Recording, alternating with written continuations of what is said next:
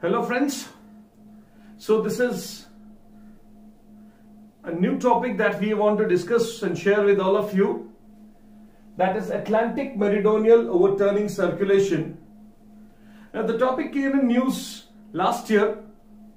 It was in news, it was in discussion, especially related to Indian Ocean. Right? First of all, we are going to discuss what is this overturning circulation? Right? Then we'll see what why is it in use? We'll see the reason for the slowing down of the circulation. And uh, also discuss the caption that that news which was mentioned in the Hindu and Indian Express last year 2019 uh, November 2019 and also the article that is Indian Ocean helping Atlantic Ocean. So let's let's come back to this discussion and let's try to understand right from the basics of the topic. See to understand this entire phenomena of meridional circulation, let us try to understand what are thermohaline circulations right? Thermohaline. See the word thermohaline means its temperature. Thermo means temperature. Haline is salinity.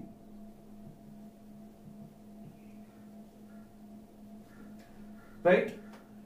So related to temperature and salinity. So the circulations caused by the temperature and salinity are called as thermohaline circulations. What exactly is this thermohaline circulation? And then we'll go to Atlantic Ocean and what is a phenomena of such. I'll use a simple example. Let's imagine a huge tub of water let us imagine a huge tub of water as a metaphor for any ocean. And suppose this is the latitude with a higher temperature and this is the latitude with a lesser temperature like suppose it's 60 degree latitudes north and south and this is suppose 0 degree latitude which is close to equator. Now the oceanic circulations, ocean currents carry warm water towards subpolar latitudes. Right? Because the the simple reason is on the surface the temperature is higher. So water expands warm water expands. Whereas the cold water up till you know the, the 4 degrees celsius shows the normal behavior. That means if you decrease the temperature the density increases. Right? After if the temperature reduces less than 4 degrees Celsius, the water shows anomalous behavior. Here in this case, what is happening? The temperature goes towards subpolar, uh, water goes towards subpolar areas and by the time it reaches to the 60 degree belt, it becomes colder.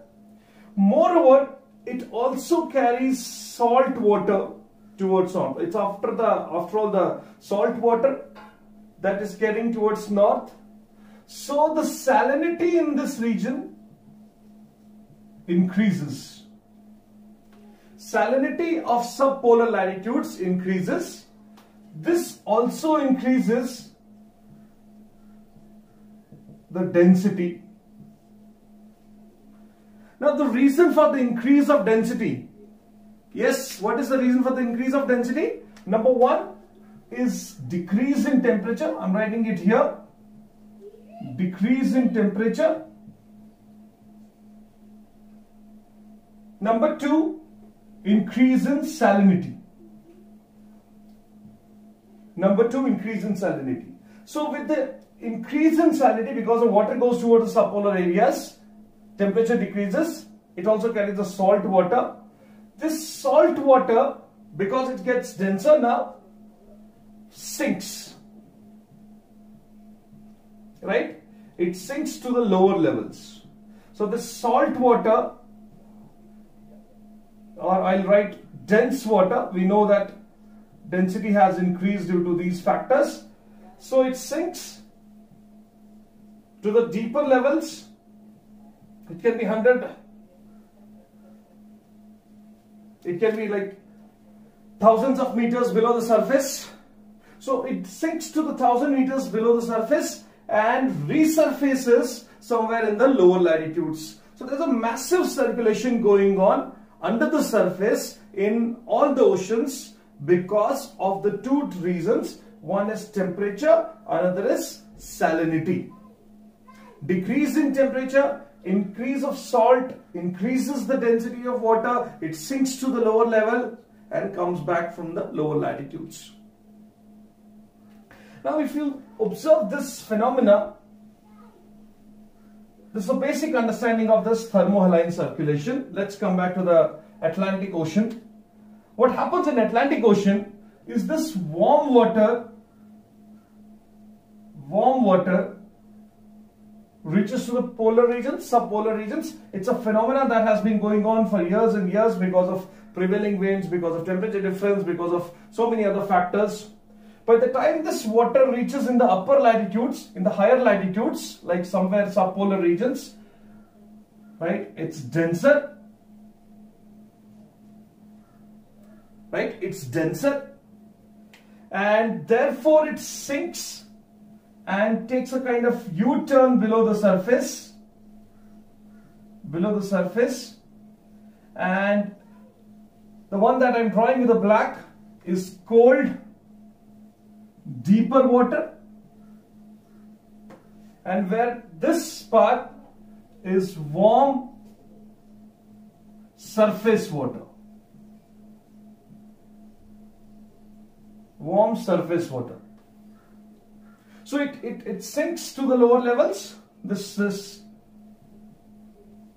dense salt water and resurfaces from the region of lower latitudes and induces, this increases the movement of water. So eh, the, the sinking, this thermohaline circulations reinforces ocean current movement towards north. What is the benefit of this? What is the benefit of this, this entire phenomena?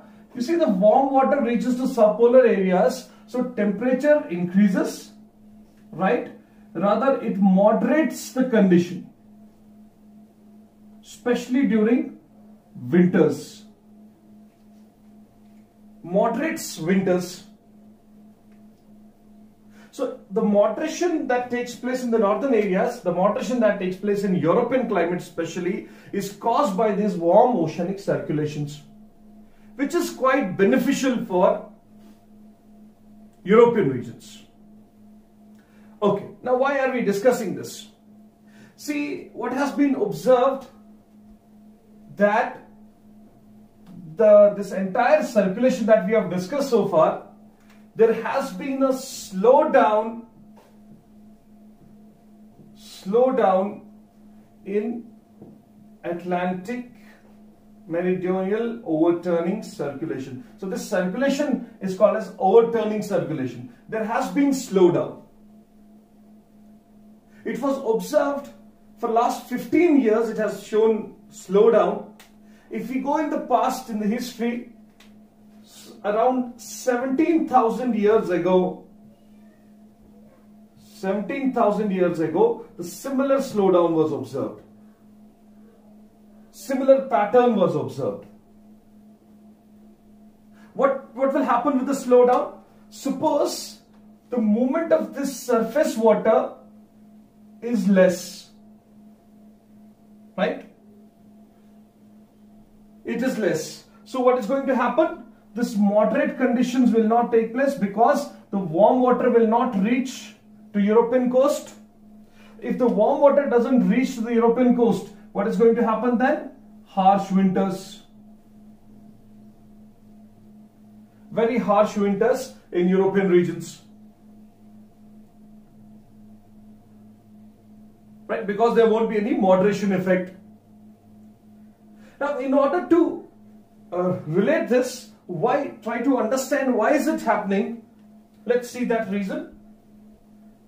And you know, these days anything, any abnormalities can be accounted to climate change, global warming. Now, what is happening due to global warming? Right? Global warming. Right? This global warming is increasing the temperature that we know and therefore leading to development of frequent low pressure in Atlantic Ocean. So there is frequent low pressure conditions developed over Atlantic Ocean because the temperature is high and low pressure. Now this low pressure leads to the form to the rainfall, right? It leads to the heavy rainfall. This heavy rainfall reduces salinity, right? It reduces salinity. Now, if the salinity of the water decreases, so therefore the density of water also increases, uh, beg your pardon, density of the water also decreases, right? So if the density decreases here, in this case, density is less. Why is it less? Is uh, relate this. Why is it less? Is because rainfall is taking place. What happens with the rainfall? Freshwater addition takes place. Salinity decreases and therefore density decreases. If the density is less, this overturning circulation declines. That means the water doesn't sink at the same rate. The thermohaline circulation that we discussed some time back, they do not sink at the same rate. Thereby reducing, right, reducing the impact of all this. Making it slowing, uh, slower process. So what was the reason for the slowdown? I hope it is clear. What is the what was the reason for the slowdown? The reason is increase in temperature in the oceanic surfaces like uh, Atlantic Ocean leading to higher precipitation, decrease in salinity, decrease in density and slowing down of this entire process. Because density plays a very significant role in enriching a kind of reinforcing the oceanic circulations. Right? Why was it in news? Recently, recently in Indian Ocean, right? Let's see this part, what has happened. The temperature of Indian Ocean is increasing to this region. Temperature is increasing. So, due to increase in temperature, again the low pressure is being formed. Now, this low pressure attracts winds from all the regions, including Atlantic Ocean. So moisture from the Atlantic Ocean is moving towards Indian Ocean, which is dangerous for Indian Ocean, of course, because there are frequent cyclonic formations there. It, it attracts uh, winds. See, heating of Indian Ocean is very frequent, very, very intense. It's a smaller ocean, heating is faster. You know, global warming is also showing impact here. So this abnormal increase of temperature leading to abnormal low pressure conditions attract winds. Right? So all the air moisture from Atlantic Ocean goes towards Indian Ocean. So what is happening on the Atlantic Ocean? Let's see the effect of Atlantic uh, on the Atlantic Ocean. If this is moving towards, if the moisture goes towards the Indian Ocean, rainfall decrease, uh, rainfall reduces. Why? Because the moisture is moving towards other areas. Rainfall decreases. If rainfall decreases, this means the freshwater addition also reduces. So what will happen because of that? The salinity increases because the freshwater addition is less. If the salinity is increasing, what will happen? The density of water will be slightly higher. So if the density of water is increasing, the same circulation which we were discussing, the overturning circulation can, this overturning circulations can get reinforced. So the slowdown that was happening because of global warming, because of uh, you know more rain in Atlantic Ocean, now has been seen that the slowing down has got delayed. Why? Because the rain, that moisture comes towards Indian Ocean. It, it travels towards Indian Ocean. And so here, less rainfall has led to increase in salinity, increase in density. So Atlantic Ocean, um, you know, in uh, the, the overturn circulation is, is getting reinforced again. So this is how Indian Ocean is helping the delay of slowdown of this Atlantic meridional overturning circulations. Right? We are trying to make topics simple and uh, we do not use much technology and all this sci-fi things trying to keep it simple and so that it helps in your imagination to improve because it's your imagination which is required. I believe, yes, technology is very useful,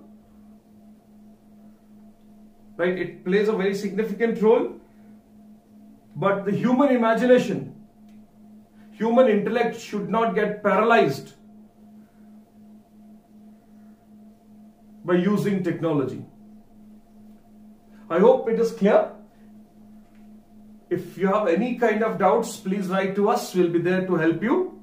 And all of you, those who are preparing for prelims this year, keep studying, keep working hard. The first attempt is the best attempt to clear, to crack. Right, you should treat, you should leave no stone unturned. And those who are in the second or third or fourth attempt or even the last attempt, don't worry treat this attempt as a first attempt. Best of luck for your preparations. We'll see you in other videos.